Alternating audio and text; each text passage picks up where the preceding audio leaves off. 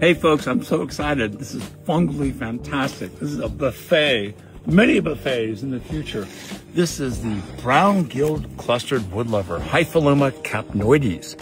Now, you have to be careful. There's the green gilled clustered woodlover, looks almost the same, called the sulfur tuft. That's Hypholoma fasciculare. That one's poisonous. So if you're colorblind, distinguishing between these two uh, species could be a challenge. But there's no way I'm going to cut this for firewood oh my gosh, this is going to give me just all sorts of mushrooms for the next several years. So this is a delicious, edible, and choice mushroom. Many mycologists don't know about this, about how good tasting it is, but I'm sharing this secret with you.